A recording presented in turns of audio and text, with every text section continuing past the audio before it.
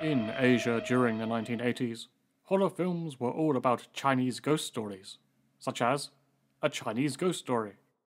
Typically, these films used a spooky spiritual backdrop onto which the filmmakers would hang elements from other popular genres comedy, fantasy, and of course, martial arts action, which was so prevalent in Hong Kong cinema.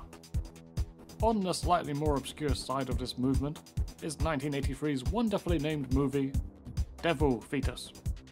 It was produced by the legendary Lo Wei, the man credited with starting the careers of both Jackie Chan and Bruce Lee. Despite the name, the devil fetus is only present for a very brief time, and the film becomes a ghostly possession tale. But it is still chock full of all the genre goodness you desire.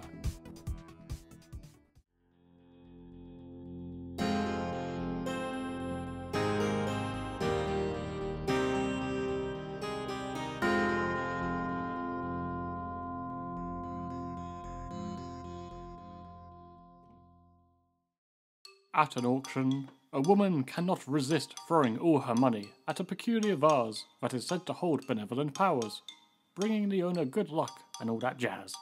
On Criterion Blu ray. The fact that the vase's ornamental goblin figure is seemingly alive indicates that the mystical powers might not be all that charming.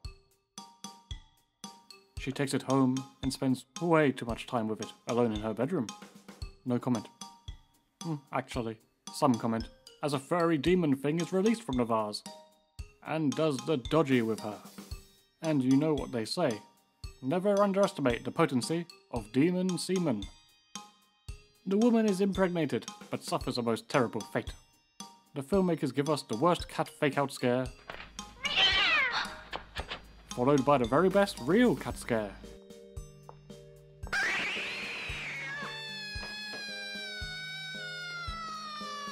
Resulting in her death. At the funeral, the adorable devil fetus attempts to make a special guest appearance, but is rejected via some quick thinking spell work from the priest. Her remains are kept guarded by another protective seal, which must remain undisturbed for a certain number of years for her spirit to be free. Gee, I really hope we don't skip ahead a number of years until the curse is almost lifted but then the woman's now grown up family accidentally disturbed the remains and unleashed the evil spirit once more. All that, and more, is basically the first 15 minutes. The devilish devil spends the rest of the film jumping between host bodies that it uses to commit all kinds of sin rape, murder, and worst of all, harmless private masturbation. The plot is admittedly a weird one, but it serves as an amusing vessel for many highlightable scenes. One of the devil's main powers is causing bone chilling hallucinations to scare its prey. This is a lot of fun and keeps you on your toes in the early scenes. It's a bit less believable when the hallucinations become a shared experience. For example, these guests are attending a nice party.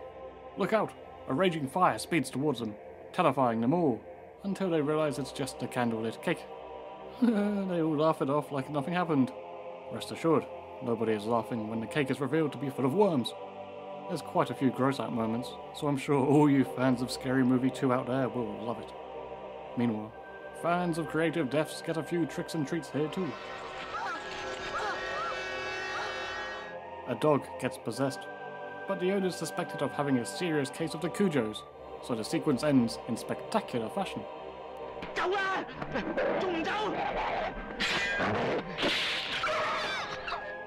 Cujo would have been over much quicker if they'd had a samurai sword in the car, honestly. My favourite kill was the dude who shows us what would have happened in A New Hope if the droids had not shut down all the garbage mashes on its attention.